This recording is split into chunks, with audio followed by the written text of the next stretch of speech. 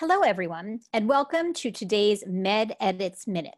Today, we are going to discuss the MCAT score range. So, what is the MCAT score range? We are going to head over to our MCAT scores article on our website, which we will link below.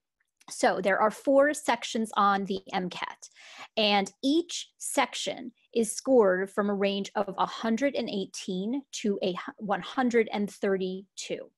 Um, the sum of those four scores is totaled, and the total score range for the MCAT is 472 to 528. Therefore, the best score that you can get on the MCAT is 528 if you score a perfect 132 on each of the four sections. Thank you and have a great day.